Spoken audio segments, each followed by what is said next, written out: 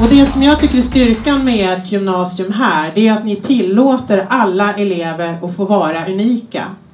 Det tycker jag är en fantastisk lyx som ni elever har, att ni får vara unika i tre år till.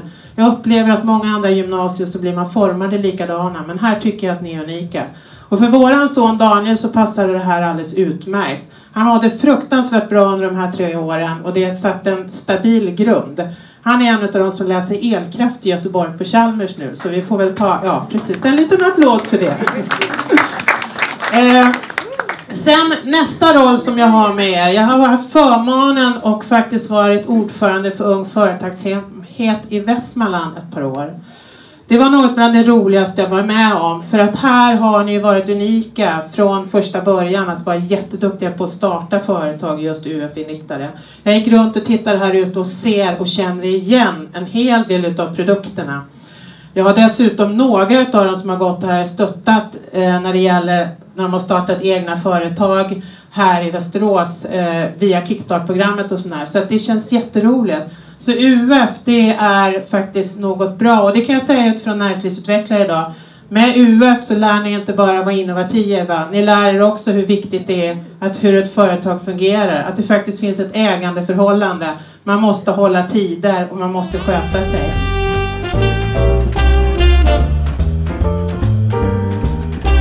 Jag växte upp eh, här i Västerås, det är 100 år sedan. Ja, 40 i varje fall, 45. 50 snart. ja, jag har fyllt 50, jag garanterar. Ehm, men, men eh, då fanns någonting som heter ASEA Industriskola. Och jag tycker den här eh, berättelsen om det, det är en beskrivning av en samhällsutveckling. Det fanns ett väldigt, väldigt stort behov av just industriarbetare. Och ASEA hade då en egen industriskola där man utbildade de, de industriarbetare som skulle komma ut på verkstäderna och jobba där. Många av mina kompisar de har gått ASEA industriskola och eh, har jobbat på ASEA på verkstäderna här. Jag åkte förbi det som kallas för Y-sektorn en gång i tiden här ute. Och nu har vi ABB Industrigymnasiet. Det har funnits i 20 år. Och det beskriver en annan utveckling, en annan kompetens som man behöver idag för att kunna vara både eftertraktad på arbetsmarknaden men också vara, eh, vara en, en del utav eh, ja, sin egen, utveckla sin egen kompetens. också vara en del utav kompetensförsörjningen. Och många har ju, precis som Agneta sa här, har ju gått ABB Industrigymnasium genom åren. Och det som jag tycker är viktigt och som jag har lärt mig när det gäller ABB Industrigymnasium, det är ju det att ja, inte expandera, utan hålla den nivån som det är och med därmed kunna hålla den kvalitet som man har både på undervisning och möjligheter för att elever kunna gå vidare och, och eh, komma vidare till högre studier och ut i arbetslivet.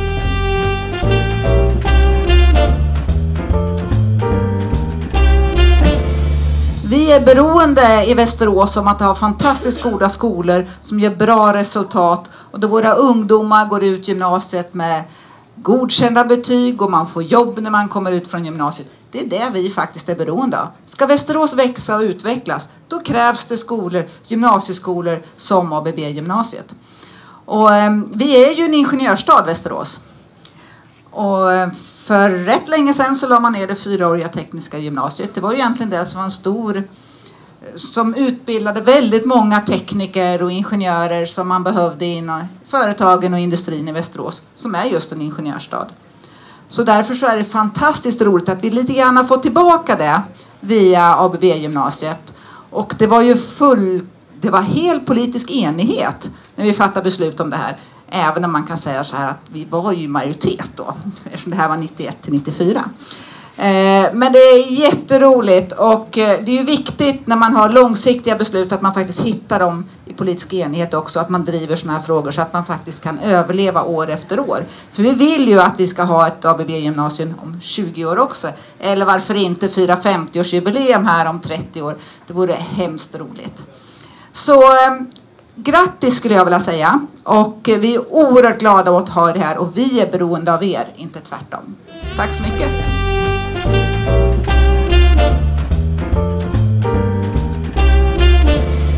Eh, jag är jättestolt över gymnasiet. Eh, jag har precis avslutat mitt arbetsliv och det här är det som jag känner mest stolthet för. Även om jag har jobbat med mycket andra typer av teknikutbildningar under de senaste 20 åren. Plus lite yrkesutbildningar. Det jag tycker vi ska tänka tillbaks och tacka är egentligen eh, när vi startade 94 så fanns det ett antal modiga personer som vågade. Det fanns eh, elever och det fanns lärare som var med från start. Som vågade ta klivet och börja på något som vi inte egentligen visste vad det skulle bli. Vi hade visioner och idéer. Vi hade fått ett uppdrag där det handlade om att bryta mönster. Jag eh, hade både jobbat i skolans värld och på ABB. Under den här tiden så hade jag en dröm. En dröm om att skapa en skola som liknar mer arbetslivet. Som skulle förbereda bättre än vad den normala skolan gjorde. Och så kom det här, möjligheten. Det var tufft och det var mycket brandkårsutryckningar i början för vi startade på tre månader. Eh, och utan det stora stödet, och nu säger jag inte det ekonomiska stödet för det har det varit uppe ganska mycket, utan det var också många ABB-bolag runt om som fanns här som var med och hjälpte till och stöttade och ställde upp när vi med kort varsel behövde både material, tjänster och annat. Utan ABB på den tiden hade vi inte varit här idag.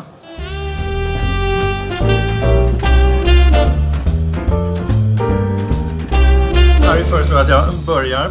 Per Wannesjö, som sagt, jag hade Bert-Olof Svanholm som chef på den tiden och ingick då alltså i svenska koncernledningen.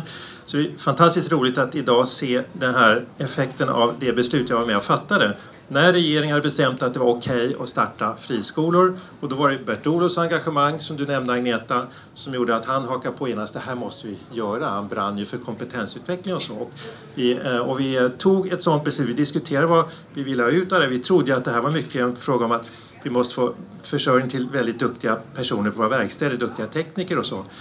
Sen blev det ju någonting annat egentligen genom betygsintag. Vi fick de bästa eleverna, det blev de bästa ingenjörerna. Egentligen var det ABB Industrigymnasium som var efterföljaren till det här eh, gymnasieingenjören som hade avskaffats 1990. Och, eh, och sen och arbetsformerna blev väldigt moderna. Det som Jill sa nyss, det sättet att jobba, arbetslikt, gjorde att ni fick in mycket tid och klarade av både egentligen teoriämnena, klarade det praktiska och ändå var ni klara, inga läxor efter klockan fyra eller vad det nu var. Mycket modernt sätt att jobba på. Och jag är övertygad om att det kommer att vara modernt i framtiden också. Det är en skola för, eh, och kan vara gott föredöme för många andra. Jag hoppas det kommer många fler efterföljare till ABB Industrigymnasium och jag önskar er all framgång kommande 30 åren till 50-årsjubileet. Grattis!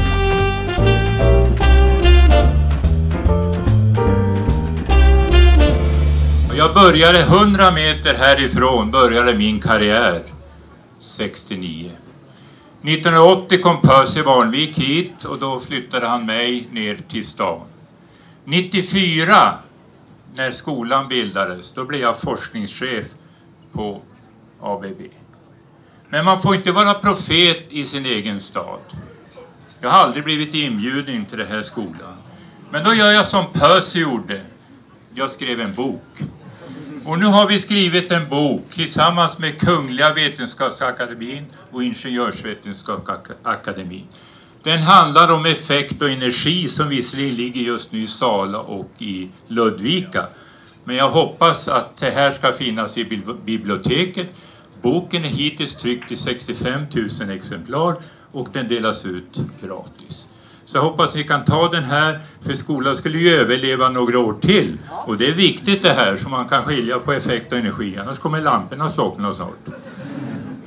Men än en gång, jag ser fram emot att få komma hit, utan käpp, och berätta lite grann för er i skolan. Tack!